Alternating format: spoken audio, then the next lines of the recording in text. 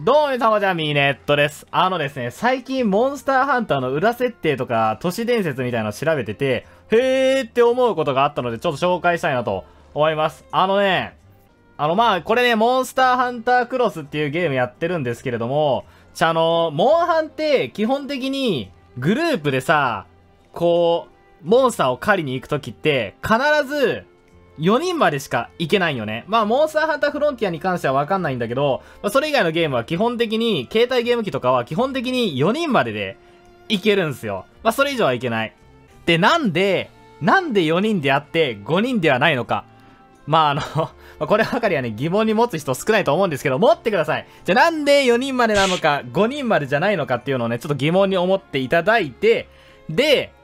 まあ、これなら分かりやすいと思うんですけれども、今やってるゲームが、モンスターハンタークロスって言うんですよね。4G の次に出たゲームなんですけれども、まあ、モンスターハンター1で 1G 出て、モンスターハンター2、2G、3、3G、4、4G と来た後に普通5だろってなるんですけれども、ここで出たのがクロスだったんですよ。まあ、あの、こっちの方が、あれなんでみたいな違和感を持っていただけるかなと思うんですが、で、これをね、調べたんですよ。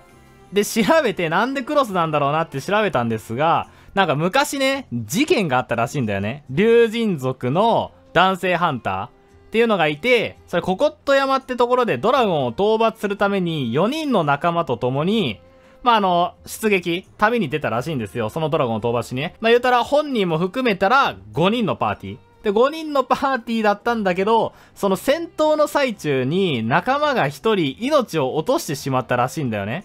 で、命を落としたその人物っていうのは、その竜神族の男性の婚約者で、で、男性は、その戦いの最後に、ハンターを引退したらしいんだよ。で、それが、あの、ココット村の村長になって、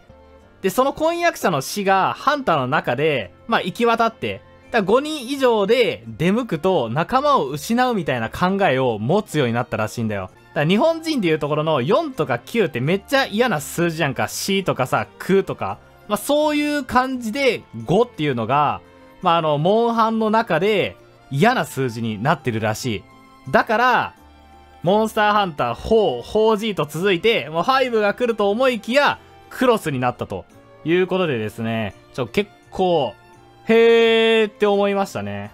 まあそういうことらしいですわ。まああのね、5が不吉な数字ということで、戦闘中に仲間1人が命を落としてしまったがために、こう、ギルドの中で5人以上は原則として禁止されてるっていうことで、モンスターハンター、4G の次がクロスになったということでですね、まあ、あの、この話をしたいがために、わざわざこのモンハンクロスを買ってきたんですが、あの、ブックオフで250円でした。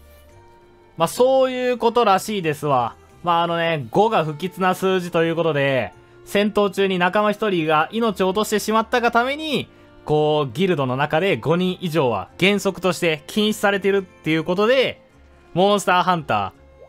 ー、4G の次がクロスになったということでですね。まあ、モンハンって結構有名なゲームだと思うんですが、こんなね、裏設定があるっていうのを知ったら結構面白いなって思って、まあ、興味持たれた方は、ぜひぜひ、Google とかで、モンハン裏設定とかで検索してみてはいかがでしょうか。ということで、今回はこの辺でお届けしましょう。じゃあな。